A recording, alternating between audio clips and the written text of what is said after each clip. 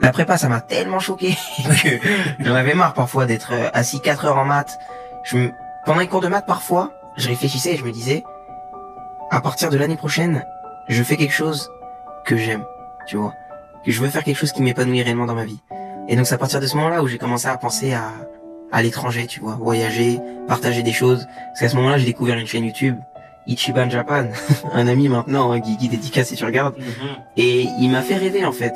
Ajoute ce secret dans tes favoris, où tu es libre de liker pour m'aider à me référencer.